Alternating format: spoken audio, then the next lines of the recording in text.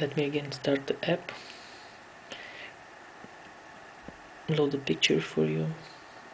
Let's say for example I select the bus then I put an ellipse on it then I press process. Um, this operation should take about 3 to 5 minutes. So I will skip this and in the end I will show you directly the result.